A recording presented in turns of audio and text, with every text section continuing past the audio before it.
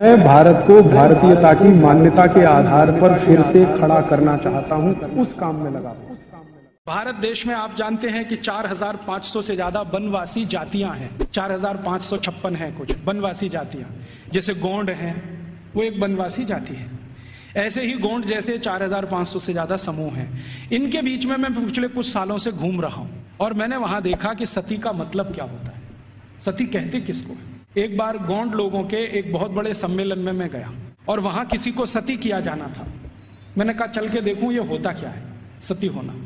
तो वहाँ हुआ यह था कि एक महिला के पति का देहांत हो गया, स्वर्गवास हो गया। और पति का स्वर्गवास हो गया तो उसकी अंतिम यात्रा के लिए गाँव के लोग जा रहे हैं।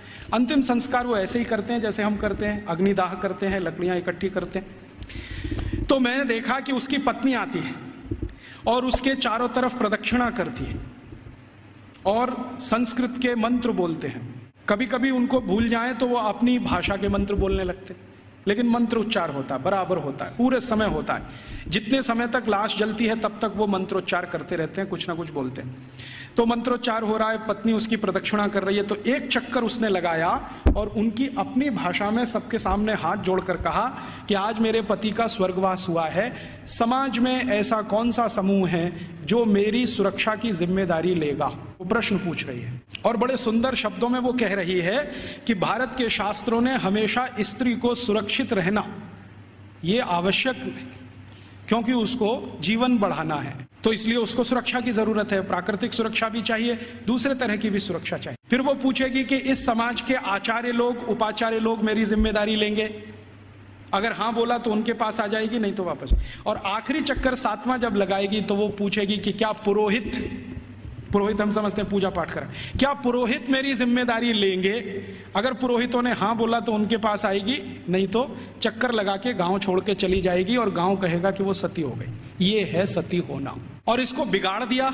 अंग्रेज़ों ने क्या कहा कि उसको ज़बरदस्ती चिता में धकेल देंगे और ये कर देंगे। फिर वो जाति कहाँ है? उसके पीछे पीछे मैं गया।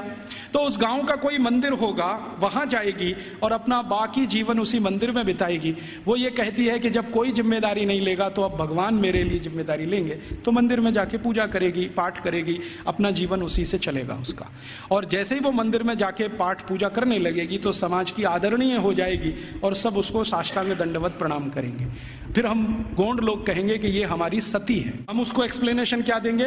वो पति के साथ ज़िंदा जला दी गई वो सती है। सती होना कोई ऊँचा कर्म रहा है इस देश में। हम उसको समझ नहीं पाए। अंग्रेज़ों ने जो डिस्क्रिप्शन दे दिया, उसी को अंतिम मान के हमने अपना मान लिया कि ऐसा ही कुछ होता होगा। ये होता है। और ये सिर्फ़ गोंडों में ही नहीं होता, भीलों में भी होता है। गोंड हैं, भील हैं, जितने तरह की जनजातियाँ हैं, ज़्यादातर में ये होता है। तो मैकोले कह रहा है कि भारत में तो स्त्रियों का स्थान बहुत ऊँचा है, परिवार में ऊँचा है, समाज में ऊँचा है, भाषा उनके यहाँ से निकली है। फंक्शनल नॉलेज उन्होंने समाज को दिया है। इसलिए इनके लिए तो सब कुछ विशेष होता है। इसलिए गुरुकुलों में आचार्य स्तर पर बहुत स्त्रियाँ हैं।